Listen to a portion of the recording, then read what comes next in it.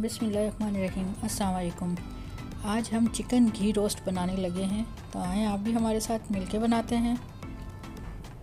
पहले तो हम जो गरम मसाला है, उसको थोड़ा रोस्ट कर लेंगे। ये धनिया है। मैंने तकरीबन एक चम्मच धनिया, एक चम्मच ज़ीरा, आधी चम्मच मेथी दाना और लाल मिर्च। इस सबको अच्छे से हम सोते कर लेंगे।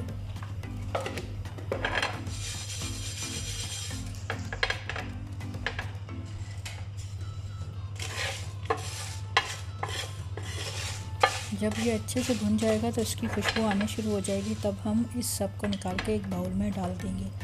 हमने इसका एक पेस्ट बनाना है।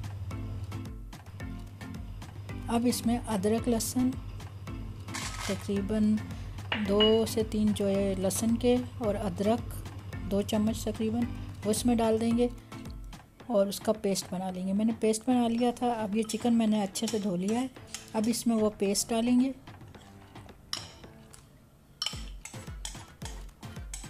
और साथ ही दो चम्मच दही डालेंगे।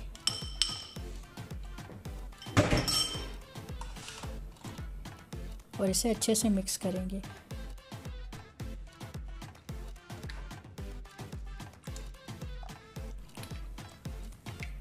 आधी चम्मच हल्दी डालेंगे।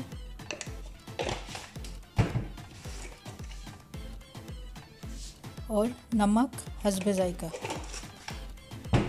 अब इसे अच्छे से मिक्स करके आधे घंटे के लिए हम साइड पे रख देंगे मैरिनेट होने के लिए।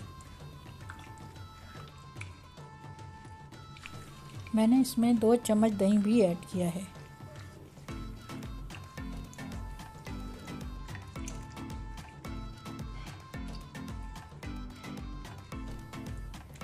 अब हम देसी घी डालेंगे दो चम्मच। जब ये अच्छे से हीटअप हो जाएगा, हमने अपनी डिश तैयार करने के बाद तकरीबन 75 परसेंट जब तैयार हो जाएगी, हम इसमें से घी निकाल देंगे, कम कर देंगे। तो ज़्यादा टेंशन लेने की ज़रूरत नहीं है कि इतना घी ये बाद में निकल जाएगा। ये अब पिघल गया है। अब इसमें हम प्याज, जो दो अदद मैंने चॉप करके रखे हुए थे, वो ऐड कर देंगे।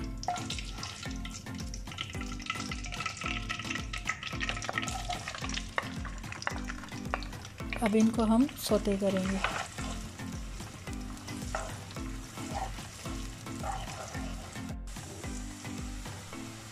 अब ये लाइट ब्राउन हो गए अब जो हमने चिकन मैरिनेट करके रखा था, वो इसमें एक एक करके ऐड कर देंगे।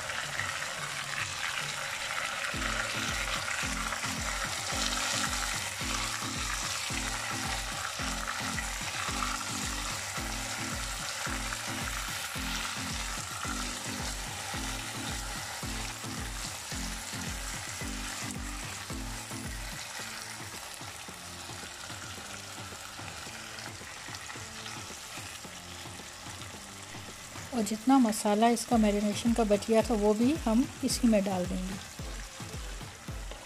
और इसको अब हम तेज़ आँच पे भूनेंगे तकरीबन पाँच से छः मिनट तक।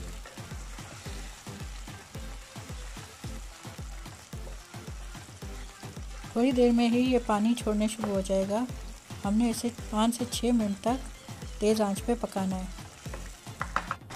ये देखें, इसने पानी अपना छोड़ दिया है। अब हमने इसको तकरीबन मीडियम आँच पे तकरीबन 15 मिनट तक पकाना है। उसी में हमारा चिकन गल भी जाएगा, क्योंकि हमने आधा घंटा मैरिनेट होकर रखा था, इसलिए इसको गलने में ज़्यादा टाइम नहीं लगेगा। पंद्रह मिनट बाद अब हमें इसे भूनना है, क्योंकि हम रोस्ट बना रहे हैं, हमें इसे बिल्कुल खुश करना है। मीडियम आँच पे ही खुश करना है। तो लिहाजा आप बुनाई इसकी शुरू करेंगे। मैंने जो एक्स्ट्रा घी था वो निकाल लिया है। अब जो है घी, उसमें इसको हमने भूनना है। ताकि मसाला अच्छे से खुश्क हो जाए और उसको रोस्ट की शक्ल मिल जाए। तो लिहाजा आप बुनाइए।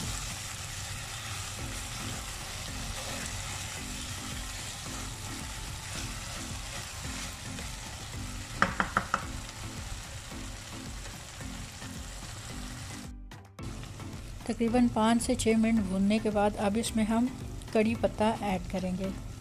कम से कम बारह से तेरह कड़ी पत्ते हम इसमें डालेंगे और उसके साथ थोड़ा सा इसको भूनेंगे। ये हमारा चिकन घी रोस्ट तैयार हो गया। इसको आप पराठे और चटनी के साथ, हरी चटनी के साथ सर्व करें। आपके मेहमान जो हैं, उंगलियाँ चाटते रह जाएँगे। चलें जी, हमें तो भूख लगी है, हम तो खाने चले हैं। आए, आप भी हमारे साथ। बिस्मिल्लाह करें। अपना ख्याल रखिएगा, अपनी फैमिली का ख्याल रखिएगा और दुआओं में ज़रूर याद रखिएगा। और हो सके तो लाइक और सब्सक्राइब और शेयर ज़रूर कीजिएगा। अल्लाह हाफिज़।